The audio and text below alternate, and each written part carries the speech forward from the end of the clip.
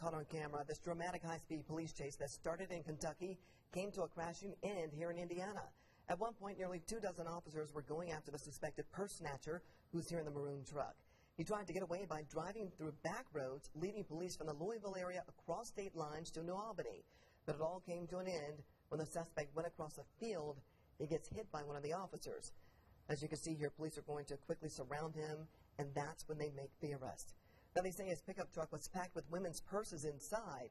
This pursuit lasted close to an hour. It even came close to the IU Southeast campus with some students just feet away from all of that chaos.